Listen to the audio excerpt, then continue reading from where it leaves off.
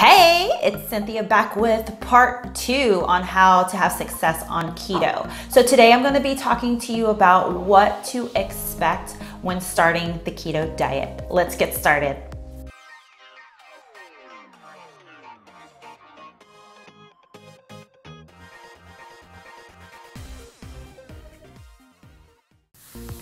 Okay, so I want to share with you some things that you're going to experience when starting keto and what exactly to expect. Um, as I shared with you before, I started um, for weight loss, and that is the number, or actually not weight loss, but just to break a plateau. And um, actually, that's the number one reason most people start keto um, is because they want to lose weight.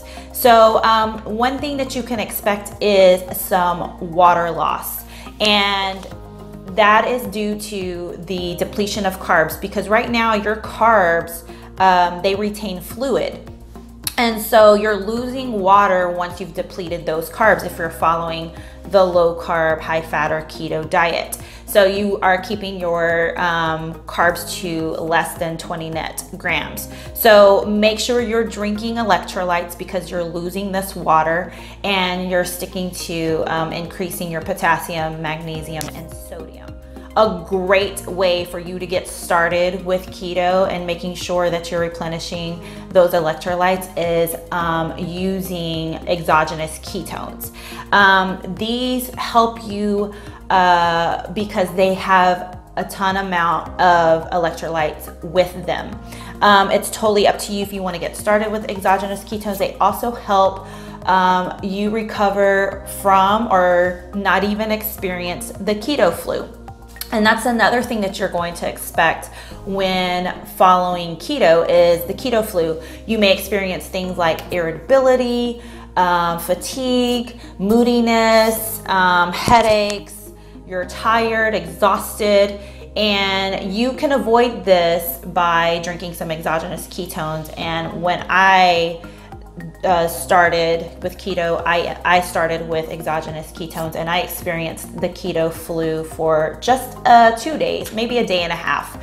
And I was extremely tired and exhausted and I just needed to get some rest, but I pushed through and um, the ketones helped me. So if you want more information on how to get your hands on some um, therapeutic exogenous ketones, there is a link below. Um, but know that the keto flu is not the actual flu. Um, that's what you're experiencing, like withdrawals from carbs. And so you should, if you're doing it correctly without ketone, without exogenous ketones, you should experience it for no more than three days. If you're experiencing keto flu for more than three days, you're doing something wrong. So again, make sure you're replenishing your body uh, with electrolytes, you're drinking tons and tons of water, and um, you can you can experiment with exogenous ketones. The next thing is you're going to notice your waist begins to shrink. You are your body composition is going to change. Um, yes, you'll see some weight loss anywhere between. Um, two and maybe 13 pounds just give or take on how your how your weight is when you're starting your journey it's different from everyone so make sure you're not comparing yourself to others um, so you will experience weight loss um, and fat loss and your body composition will change. So not necessarily the scale, but you will notice your waistline is shrinking. Um, you feel less bloatiness um, in your midsection especially. Um, so make sure that when you're starting keto that you take before pictures and your measurements because no matter what that stupid scale says, uh, my motto has always been throw the scale away, don't even get on it. Or if you do, limit yourself to it unless that scale is going to be for motivation because I don't want you to get discouraged because of the number of the scale and you quit. I want you to use that number to keep pushing you forward. So um, my advice is to just get rid of the scale, or if you do weigh yourself, weigh yourself like once a week. So like on Saturday mornings or Sunday mornings or Monday mornings, whatever. But don't get on it every single day. Um, so make sure you take those before pictures, measurements, and and look at those pictures and take them every week if you need to, or every two weeks, and you will see that your body is changing, and that's because of the bloatiness and inflammation. So, the fourth thing that you will notice is um, better sleep. That is the first thing that me and my husband both experienced while transitioning to keto from the American, standard American diet.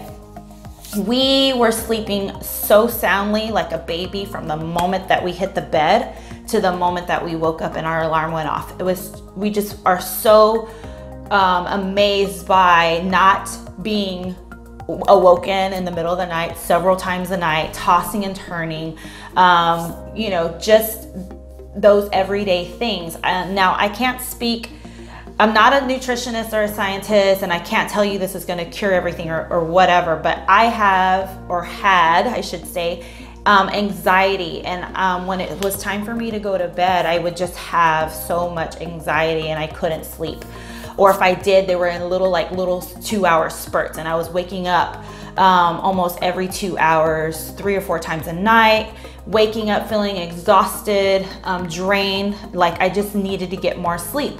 So when I started following keto and drinking these ketones, I immediately experienced the best sleep ever. I mean, drool down my my the side of my mouth and waking up in a pool of drool. As dis- as disgusting as that sounds, that is the truth. And to this day, I get the best sleep ever.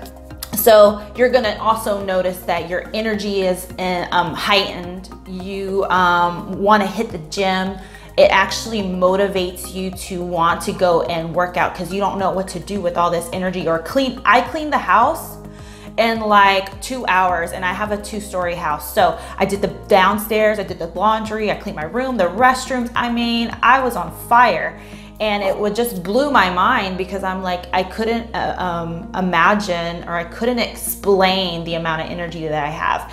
And most of the women that I help in my support group, if you guys are interested, uh, make sure you comment below or just go on Facebook to the Ketofied Crew with Cynthia and Kennedy, and I'll be sure to add you. But most of the women that I work with, they message me, and that's the first thing they notice is the amount of energy, insane energy that they have. This one girl told me like she normally goes, works out, comes home, does a little things, takes a nap, and then gets up and then does some more things because she's always needed this nap. And that this, when she started keto and drinking ketones, she was like, oh my God, I haven't taken a nap all day. I've done this, this, this, this, and this. And I'm just blown away about the amount of energy that I have. And I was like, yes, girl, it's amazing. Like, it's just an amazing experience. So um, you're gonna want to hit the gym or if you're lacking in motivation to like get up and go to the gym or get up and go work out or get up and go clean the yard or whatever, you're gonna have insane amount of energy. Um, another thing that you're going to experience over time, not right away, um, as long as you stick to it, is like better skin. Um, it helps clear skin, it helps you look younger, age your aging slows down. Um, it's it's pretty amazing on the compliments that I get because they think I'm in my 20s and I'm not. I'm in my late 30s, and it's amazing to me because um, people say that you look younger. So this happens because of the way the ketones fuel your body and reduce like inflammation, things like acne, psoriasis. Um, and if you have any itises, it'll reduce that tremendously as well, like arthritis and stuff like that. Um, also, another thing that we noticed, me and my husband, is muscle preservation. So, like more defining of our muscles because um, keto actually um, helps with that growth hormone that helps your muscles like heal and grow. Um, so you'll notice if you are someone that works out, like you'll get more muscle definition and toning in your body naturally when you switch to keto. It's freaking amazing. Another thing that we noticed was we were not um, craving carbs anymore. Like it was crazy insane. We just both looked at each other and we're like, do you not want carbs anymore? Like we were more um, wanting like more of the high fat and um, vegetables and protein that we were eating versus the carbs. So you have to understand that your body is going to, to get adapted and want and crave those healthy foods for you when you're switching. It may take you longer than most, but know that what you're doing is you're making a change and it's taking your body um, a little getting used to this new uh, way of eating or lifestyle. So that's one thing that we notice is like you have a reduction in, in cravings and you have a reduction in wanting carbs. So for those of you that are like, I can't do keto because I love carbs, uh, you can do it. You can do it. Um, you just have to know why you're doing it and stick with it, and you will see that you really don't need those carbs. I mean, your body really doesn't need carbs. So, um, another thing that you will also experience is like clear thinking, clear headedness, um, concentration, focus, uh, better memory, better vision it's amazing um, on these benefits that you get from just switching your diet. It's crazy to me. Still, even sharing this with you, the amount of crazy amazing um, uh, focus that you get. And you know, being someone that has anxiety, I noted I noticed this big time because basically when you're when you have anxiety at least that's what i learned and i did research on because i was like what the heck? Why am i feeling this way? It's like your subconscious mind is continuously thinking about things and giving you like this panic attack that brings on this anxiety and um, it's a lot of the way your brain works so that's another thing that you'll benefit with keto is that these ketones are fueling your brain and it's actually causing your brain to function better. Um, think of it like as fuel for your car. You got bad, you have bad fuel and you have good fuel. So your body is not needing to, um, or your brain is not needing to have to work so hard because we have so much distraction around us, and our our brain is constantly like go, go, go, go, go, and thinking about this and thinking about this and thinking about this. And that would bring on the onset of anxiety for me. So I learned that while I was drinking ketones or following this keto diet, that my brain is being fueled more efficiently, which causes that outside noise or going 100 miles an hour to calm down therefore lessening my anxiety and panic attacks. So you will you will gain so much mental clarity and focus. It's mind blowing, literally, no pun intended. Um, you may also experience going to the restroom more often. Um, things like maybe diarrhea or constipation, just depending. It's because your gut is getting um, used to and it's re- to the new diet. It's also um, reducing inflammation when you're following keto. Um, so you are having a bunch of changes in your digestion and in your gut, and it needs to adjust.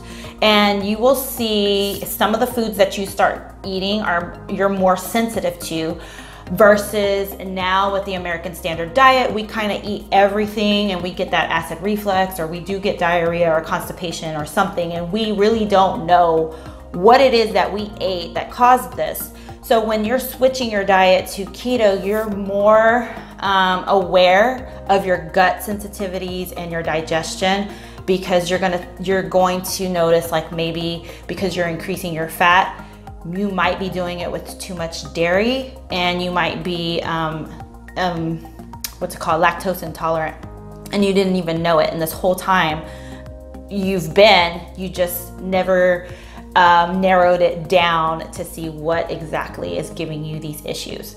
Um, so uh, the other thing that I experienced and and didn't know, you know, that I was going to uh, be implementing was intermittent fasting. So I immediately noticed that I had a reduction in my appetite. So I wasn't as hungry. I was skipping breakfast. I was full and satiated um, all the way till lunchtime most of the times.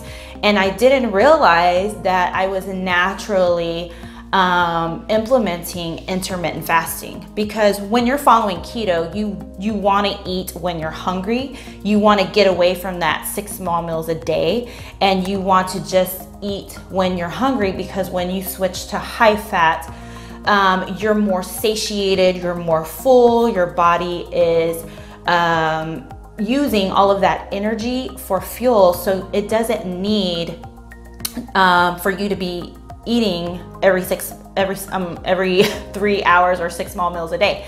Because when you're on that american standard diet and you're eating carbs carbs is sugar and you, it's only going to last you a couple of hours. That's why you get hungry again. And then that's why you get uh, moody and irritable and stuff like that because it needs more fuel to run off of because your sugar when you eat an american standard diet it like it stores fat. So when you're switching from that standard American diet to keto diet, the foods that we're eating is automatically used as fuel. And when it runs out, it's still running on the fat that you have on your body for fuel. So that's how you get your fat loss. I hope that makes sense.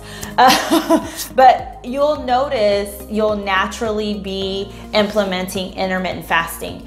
And it's something that goes um, hand in hand with keto because um, your body is being fueled efficiently from the diet that you're eating, and of course, along with um, exercise and uh, working out.